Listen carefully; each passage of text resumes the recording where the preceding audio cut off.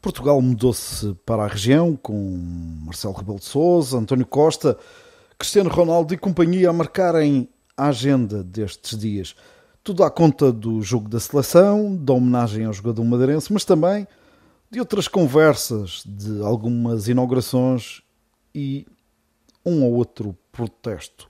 E é aqui que a festa descamba com claros aproveitamentos políticos que não dignificam aqueles que, por exemplo, não convidaram o governo para uma cerimónia pública ou para aqueles que, dentro do governo, incentivaram uh, uma manifestação claramente orquestrada.